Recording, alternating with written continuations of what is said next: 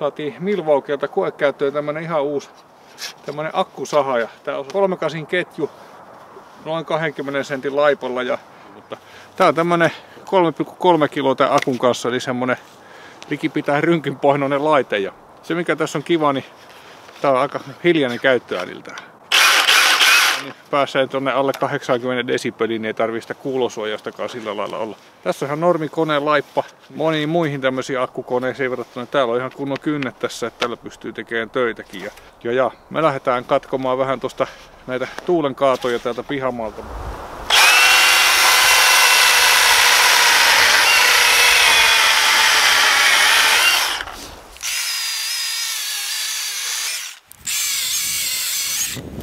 Kiin. Meillä on nyt takana tuossa pari puun kaatunta puuta kärsitty ja muuta ja akkua on puolet jäljellä.